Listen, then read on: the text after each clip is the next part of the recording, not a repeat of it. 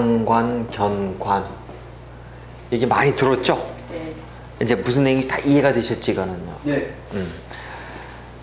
그 이제 얼마만큼 우리가 이제 상관에 대해서 많이 아는지 상관에 대해서 한번 좀 공부를 오늘 음, 쭉 한번 해보시자고. 예를 들어서 상관, 경관, 상관, 상진, 파료, 상관, 가상관, 진상관. 어, 이래서 과연 여러분이 그 상관에 대해서 얼마나 많이 아는지에 대해서 우리가 상관을 한번 홀딱 한번 좀 벗겨보자고요. 굉장히 중요한 내용이에요. 자, 일반적으로 우리가 상관견관이라는 막 그런 용어들을 우리가 씁니다. 뭐 교과서에서 보시다시피 뭐 이 상관견관이라고 하는 얘기는 진수함 선생의 명리약언에 나오는 말이에요. 음, 그래서 이 진수함 선생의 이 명리약언에 나오는 아, 이러한 상관경관은 실제는 원어와는 대단히 틀려. 그러니까 상관 경관이라고 하는 이 단어를 우리는 보통 이런 한문을 갖다 써요. 이렇게 상관이 견, 관, 즉 상관이 경관한다. 상관이 정관, 뭐 어떤 관이 됐든 이렇게 관을 본다고 하는 것은 아름답지 않다 이런 얘기예요, 그렇죠? 특히 여명의 입장에서는 득자 부별의 그러한 흉화도 있을 수 있고 또한 남명의 입장에서는 상관 경관은 직업을 쉬 바꿀 수 있는 그리고 우리가 상관이라고 하는 녀석이 사식신이요. 병법살이요. 착각살이요. 막 이런 측면에서 보면은 상관은 대단히 흉살인 것만은 틀림없어요. 그러나 물론 상관이 관을 봤을 때 그렇단 얘기지 관이 없이 상관만 쫙 있으면 상관상진이어서 오히려 기람이 배가 되는 그런 뭐 사주가 될 수도 있단 말이에요. 어쨌든 상관 경관이라고 하는 것은 관을 보고 있는 상관이기 때문에 문제가 될 거란 말이죠. 그렇죠?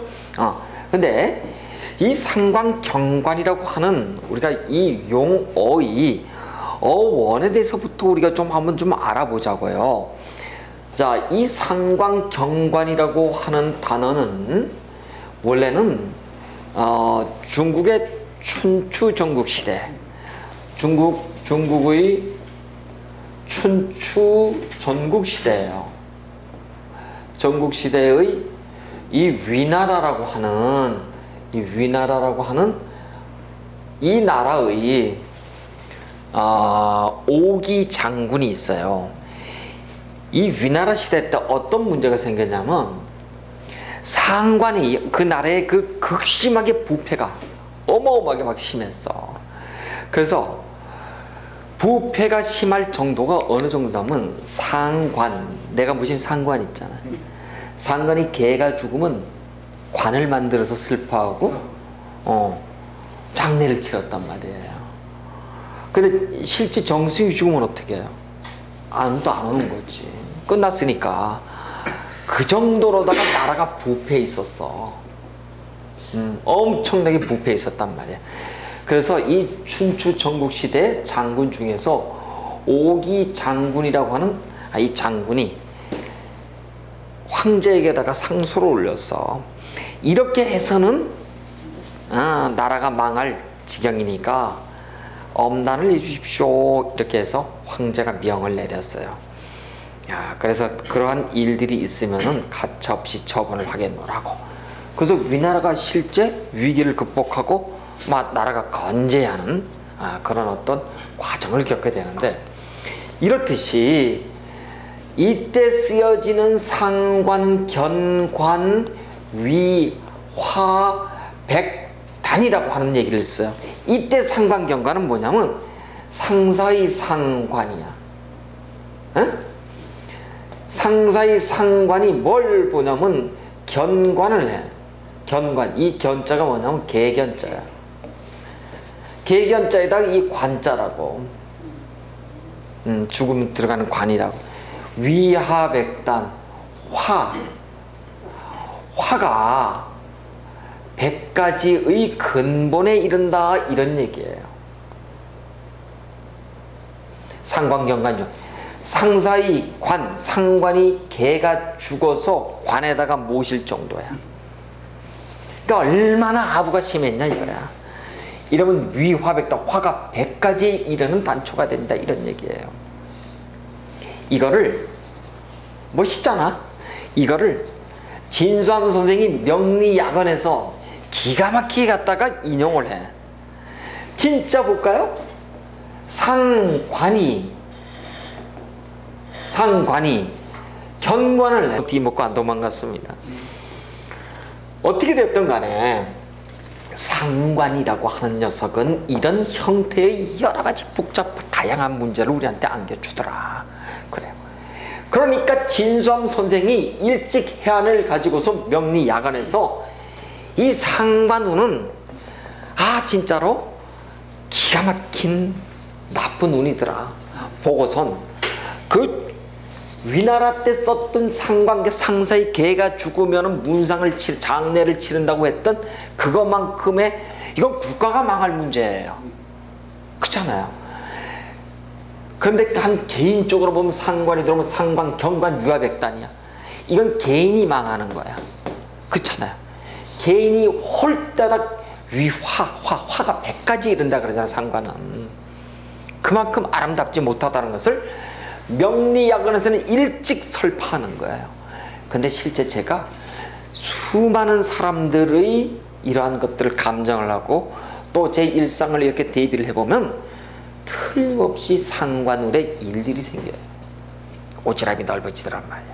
그래서 여러분은 우리가 일진을 보더라도 상관운에는 특별히 조심하셔야 돼. 이걸 알았기 때문에 그래서 상관경관 유화백단이라고 하는 이런 단어를 쓰다란 얘기예요. 그러니까 상관경관 유화백단은 이미 중국의 춘추 전국 시대에 나와 있던 그런 국가적 문란한 어떤 행위들을 우리가 차용해서 빌려다가 이런 말을 진수함 선생이 갖다 쓰는 거예요.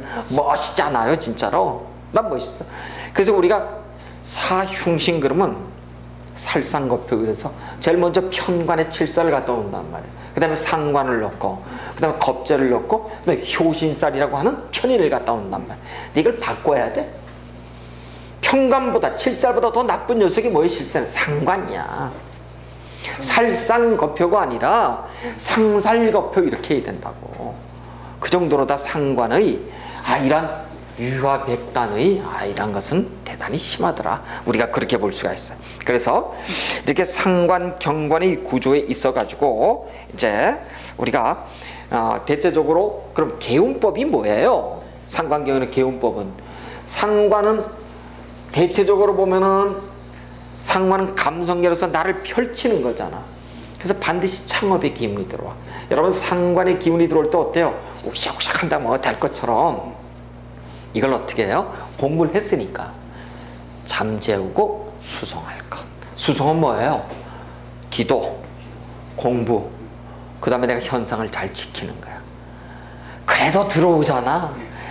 엉덩이가 들썩들썩해.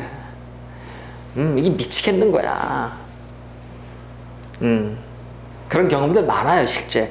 근데 이 공부를 안 했으면은 자기 판단을 100% 믿고 망조로 들어가. 근데 이 공부를 했으면 엉덩이가 들썩들썩해도 기본적으로 어떻게 돼요?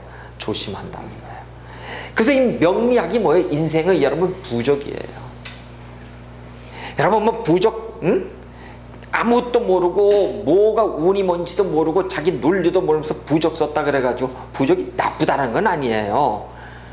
뭔가를 진심한 마음을 갖고서 뭔가를 알았을 때가 그게 부족이야. 응? 그런데 우리는 이 명리학을 공부하는 것 자체가 뭐예요? 우리 마음의 부족이에요. 굉장히 중요한 거이 명리학을 공부하는 인생을 그만큼 심오하고 그 다음에 우리가 하나하나를 모든 거를 지혜스럽게 이렇게 조심해 간다고 하는 것은 대단히 어른스러운 행동들이라고 애들처럼 뭐 이렇게 저렇게 하는 게 아니잖아 느긋하고 지그시 한 가지 일을 오랫동안 나를 지킨다고 하는 것을 굉장히 힘들어요. 우리가 신독이라고 얘기를 해요. 옛날 어른들이. 신독은 뭐예요? 홀로 있을 때 어떤 일들을 조심하라는 얘기예요. 근데 이 공부를 하면 실제 이렇게 돼요. 근데 이 공부를 안 하면 어때? 에이 뭐 지금 뭐 내가 누구랑 운 좋은 사람하고 사귀는데 뭐 이렇게 이해할 수도 있어. 천만에 만만의 콩떡이. 운은 나 따라가는 거야. 이렇듯이 상관 경관 유화백단은 대단한데 자 이제 여러분 상관경관 유야백단을 우리가 공부를 하면은 어떤 공부까지 겸해야 되냐면은 이런 겁니다. 상관경관은 대단히 흉살이다. 라고 얘기했을 때 보통 이런 운에서는 괜찮겠지 이렇게 되게 그런 운 중에서 신살을 공부할 때 여러분 이 신과 살이 있죠.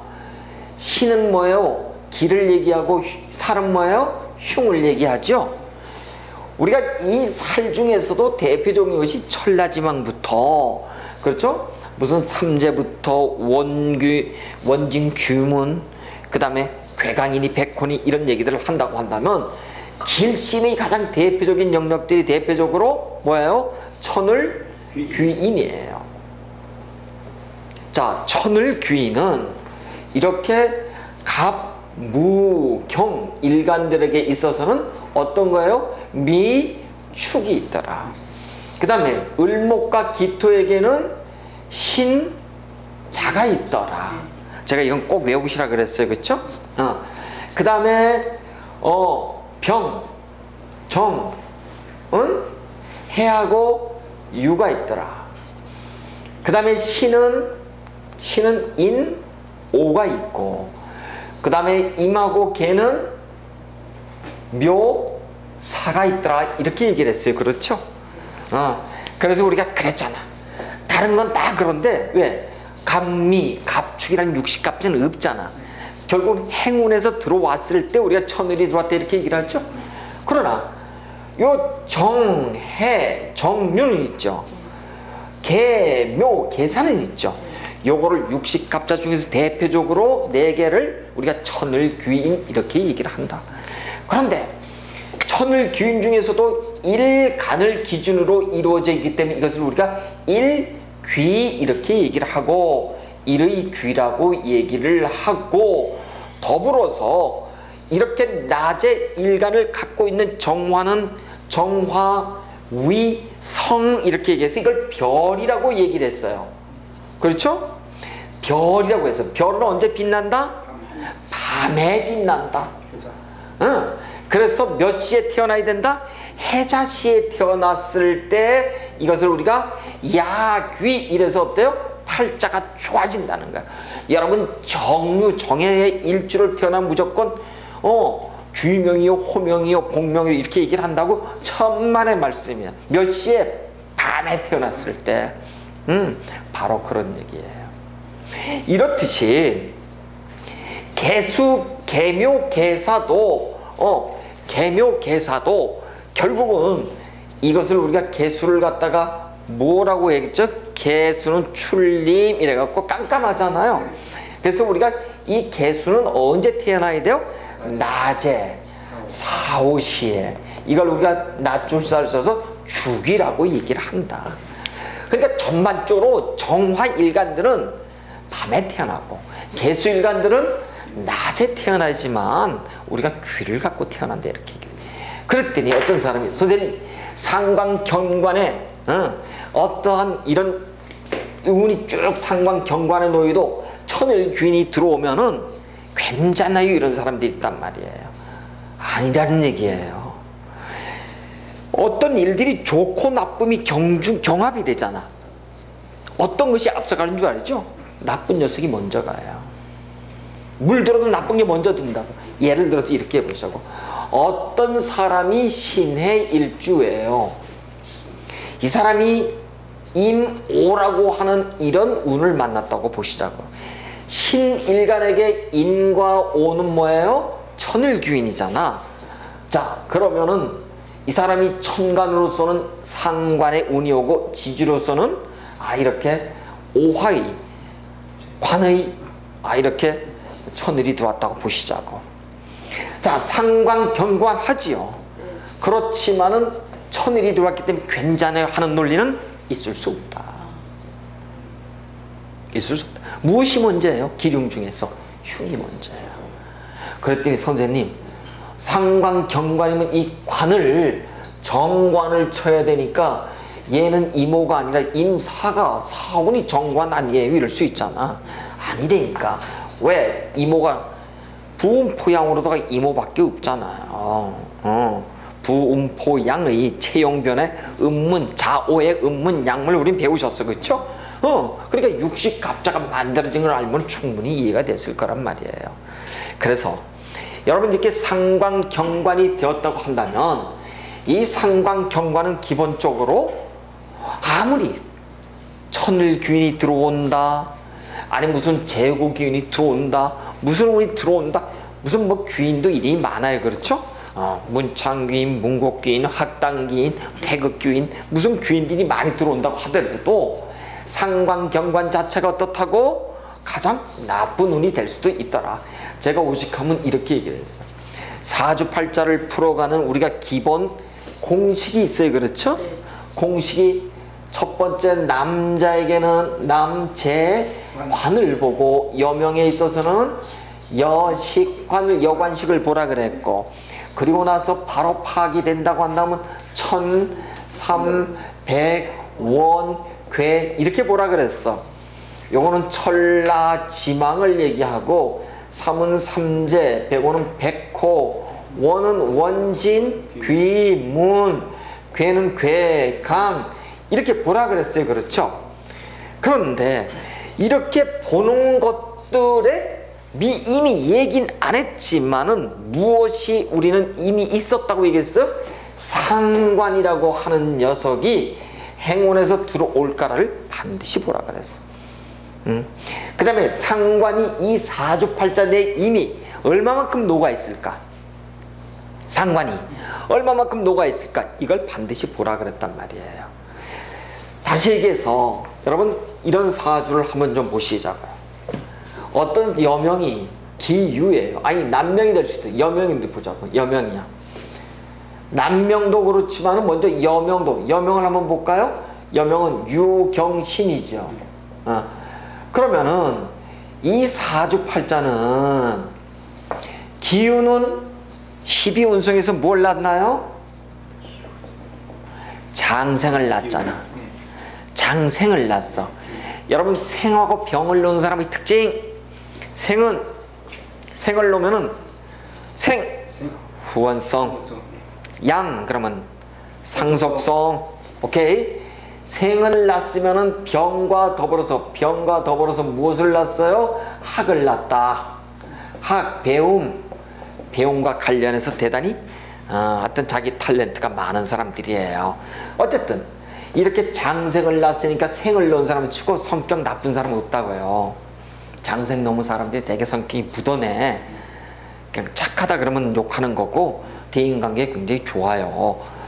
그런데 장생을 낳았다고 하더라도 이 사람의 동태가 지지를 전부 다 보니까 뭐예요?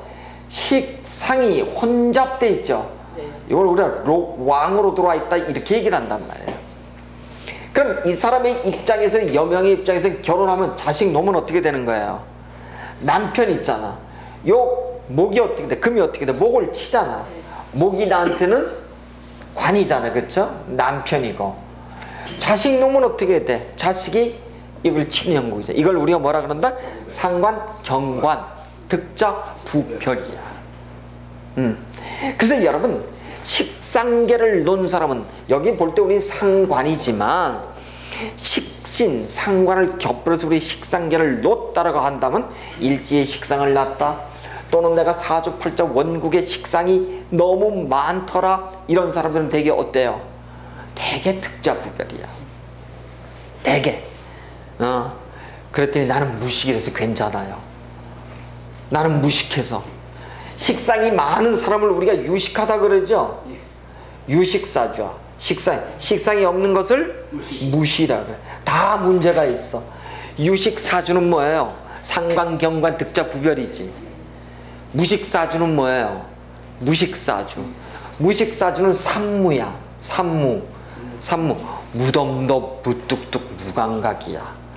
어, 대, 개 그래서 이 무식을 놓게 되면은 남자 입장에서 배우자 입장에서 뭘 느껴요?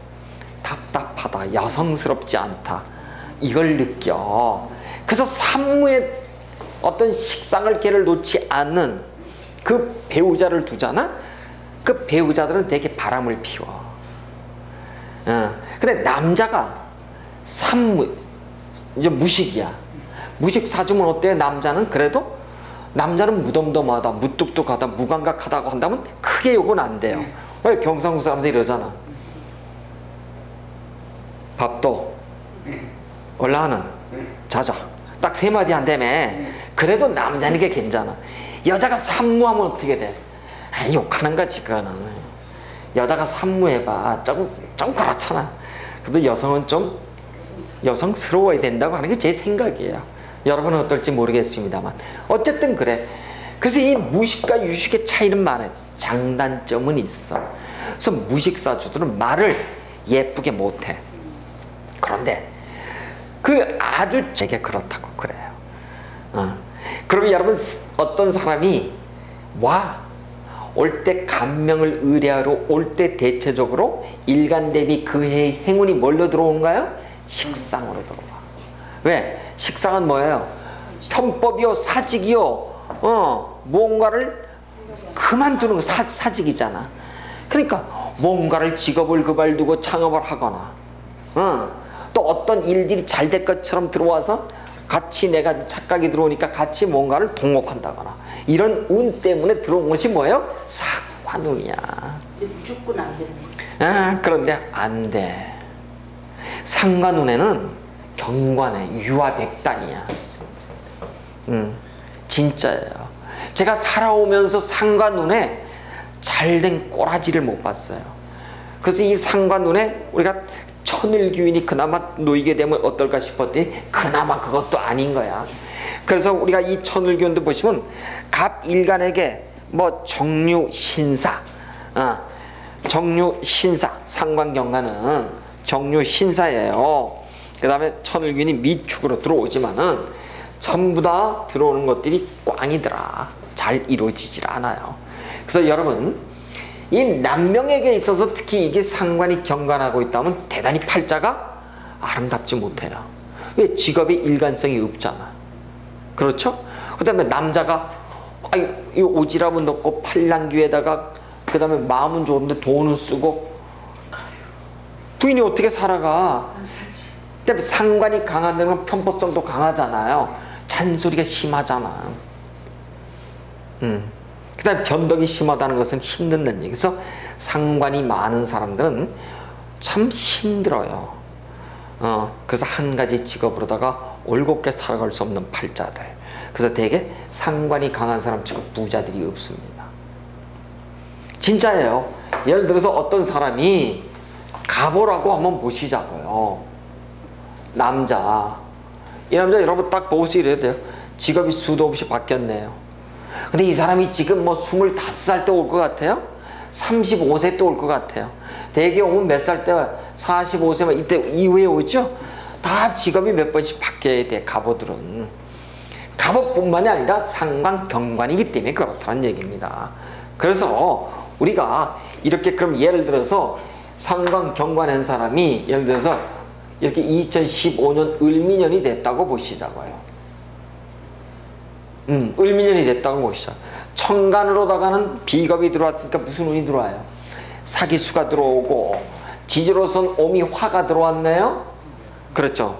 상관이 쉽게 말해서 지지가 합해서 상관으로 들어오죠. 아, 이때 되는 일이 없어. 그러니까 되게 뭐예요? 말로 다 먹고 사는 직업을 택한다고. 그랬더니 아니야. 나는 지금 미의 천일기민이 들어오잖아. 기가 막히게 들어. 뭐가 기가 막혀? 기가 막힐 일이 없잖아요. 음. 그랬더니 이 사람은 14년이 딱 되니까 갑오가 떡 들어오면 어, 천간 지지가 같은 녀석이 동착된다면 이것을 가지고 우리가 어, 복음이라고 얘기를 하잖아. 그쵸? 어. 그러니까 이럴 때는 어때요? 천간 지지가 전부 다 불바다로다가 전부 다 탕화를 놓으면은 2014년도에 가보년 가보일주들은 머리가 찌끈찌끈 아픈 거야. 하던 직장도 때려치우고 말이죠. 그래.